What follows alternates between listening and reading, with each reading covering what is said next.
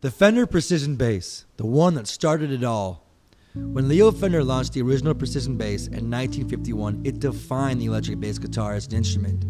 The modern American standard Precision continues this legacy with all the tone and playability of the original. Compared to the jazz bass, Precisions are known for the wide growling tone which is found used by players like Roger Waters, James Jamerson, and Sting, just to name a few.